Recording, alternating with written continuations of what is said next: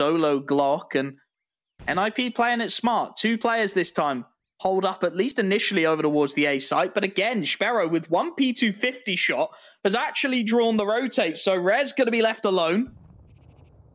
Up against four as Sobol and Snatchie boosting up, trying to give themselves a nasty little angle. Shadow gives it away though, and Rez very aware of the possibility. Clean spray down against the Eco.